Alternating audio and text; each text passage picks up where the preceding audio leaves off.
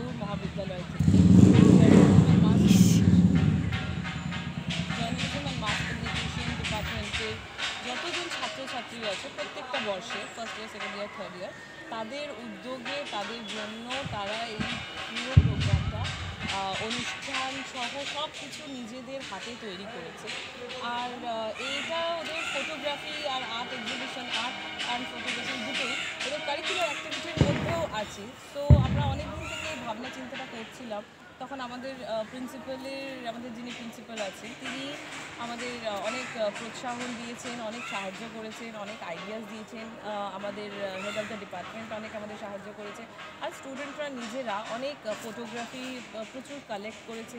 আর এই সম্পূর্ণ যে ডেকোরেশন আছে সেটা ওদের দ্বারা তৈরি। আর সবথেকে বেস্ট ব্যাপার হচ্ছে যে, এইগুলো সব ইউজড ম্যাটেরিয়াল দিয়ে used newspaper wastage paper plastics এগুলো দিয়ে ওরা হ্যান্ডক্রাফট করে নিজেদের পুরো যে ওয়ার্কশপ বা আমি বলব প্রজেক্টটাকে দাঁড় করিয়েছে।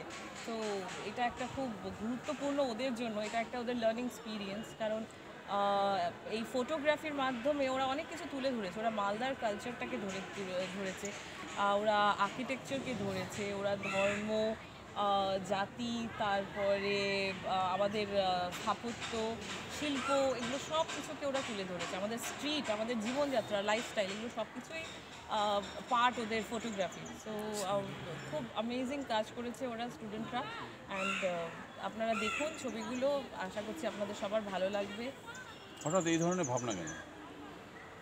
এই ধরনের ভাবনা আমাদের অ্যাকচুয়ালি ওদের তো মাস কমিউনিকেশন তার মধ্যে একটু নতুনত্ব কিছু সবসময় করার মধ্য থেকে কিছু না কিছু তো শিক্ষা মানে সাংবাদিকতা সেই জন্যই তো, যে একটু আলাদা।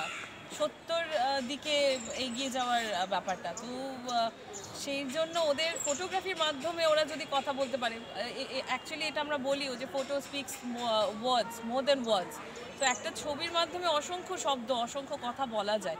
সেই জন্য ওরা ছবিকেই বেছে নিয়েছে নিজেদের কথা বা নিজেদের ফিলিংসটাকে বা নিজেরা যেটা প্রকাশ করতে চাইছে তার মাধ্যমে। ওরা মালদাকে দেখাতে চেয়েছে নিজের ছবির মাধ্যমে। তো আমরা একটা নতুন মালদাকে হয়তো দেখতে পাচ্ছি এটার মাধ্যমে। বা মালদার ঐতিহ্যকেই আমরা তুলে ধরছি। আমার নাম নাফিসা খান লোদি। আমি lecturer journalism and master education department